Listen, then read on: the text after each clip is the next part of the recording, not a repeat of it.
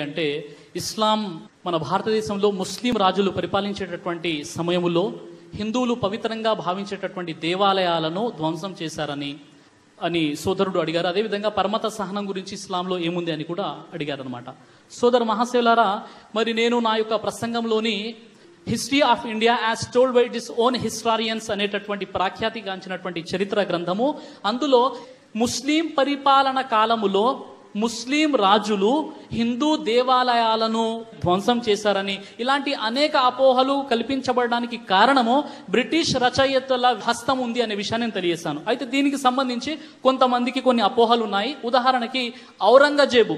ఔరంగజేబు మందిరాలను ధ్వంసం చేశాడు అనేటటువంటి ఒక అపోహ ఉందన్నమాట. దీనికి సంబంధించి చూసినట్లయితే ఔరంగజేబు యొక్క జీవితంలో ఆయన ఒక మందిరాన్ని కూల్చేశాడు ఒక మసీదుని కూడా కూల్చేశాడు. నమస్తే మడే విశ్లేషణ కార్యక్రమానికి స్వాగతం.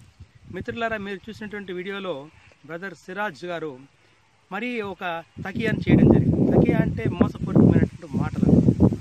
మిత్రులారా ఆయన భారతదేశంలో హిందువుల యొక్క గుళ్ళను ఒక ప్రశ్నకు సమాధానంగా హిందువుల గుళ్ళను ఒక ఔరంగజేబు మాత్రం పగలగొట్టాడని అది కూడా ఒక గుడి మాత్రమే పగలగొట్టాడని తెలియజేయడం జరిగింది. ముఖ్యంగా ఈయనకి చరిత్ర తెలుసా తెలియదా అనేది నేను ప్రశ్నిస్తున్నా. అతనుకు ఈ సిరాజుద్దీన్ గారికి భారతదేశ చరిత్రపై ఎటువంటి అవగాహన లేదనే విషయం తెలుస్తోంది. గజనీ కానీ ఖిల్జీలు కానీ లోడీలు కానీ తర్వాత గోరీలు కానీ తర్వాత మొఘలాయలు కానీ ఎన్ని గుళ్ళను ఈ దేశంలో వేల గుళ్ళను పగలగొట్టడం జరిగింది. కానీ ఆయన ఒక పుస్తకం the Indian history by its own historians అనే పుస్తకాలు తెలియజేస్తూ ఆ పుస్తకంలో ఔరంగజేబును మాత్రం తీసుకురావడం జరిగింది. ఔరంగజేబు రెండు ఒక గుడిని ఒక మసీదుని మాత్రం పగలగొట్టాడు. ఇంక ఏమీ చేయలేదు.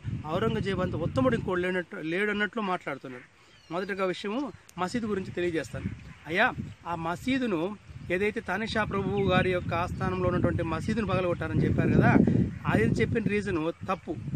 ఎందుకంటే వీళ్ళ అన్నగారైన దారు దారు షికోతో తానాషా ప్రభు కలవడం చేత వాళ్ళిద్దరికీ ఉండేటువంటి అనుబంధాన్ని వ్యతిరేకిస్తూ దీన్ని దాడి చేయడం జరిగింది. ఇది కారణం రియల్ కారణం.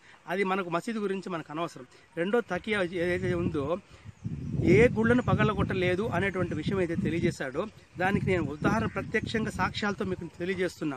ఆయన పగలగొట్టిన గుళ్ళు సోమనాథ్ దేవాలయం ద్వారక దేవాలయం తర్వాత మధురలోని దేవాలయం తర్వాత బృందావన దేవాలయం తర్వాత ఆయన చెప్పినట్టు కాశీ విశ్వనాథ్ దేవాలయం. ఇదే కాకుండా రాజస్థాన్లో వందల వందల గుళ్ళు పగలగొట్టండి. మిత్రులారా ఈ యొక్క ఈ బ్రదర్ సిరాజు తకియా మాటలు పూర్తిగా తప్పుడు మాటలు. చరిత్ర తెలియదు. చరిత్రలోని నా విషయాలన్నీ కూడా తప్పు చేసి మాట్లాడు ఈ విధంగా చేస్తూ భారతదేశానికి అవమానం చేస్తున్నాడు.